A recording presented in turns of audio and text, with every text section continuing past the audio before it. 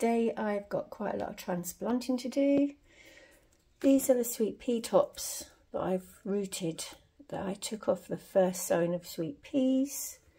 This is a tray of sowed cucumbers of which only one's come through and lettuces, not a lot of them have come through and these are purple sprouting broccoli.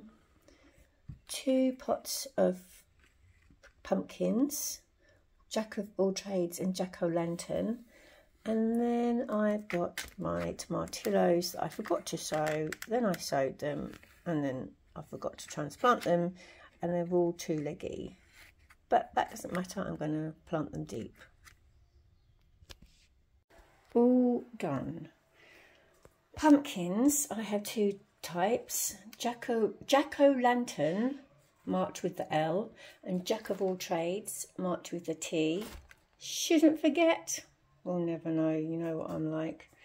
Tomatillos, I lost, or I can't find the information in my diary about which were number fours and which were number fives. But basically, I've got three number fours and seven number fives. And they were either green or red. My one cucumber just popped in there until it has a growth spurt for a couple of days.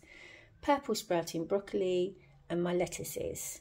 Now my deep rooter trainer things must still be down the allotment. So I haven't done the sweet peas.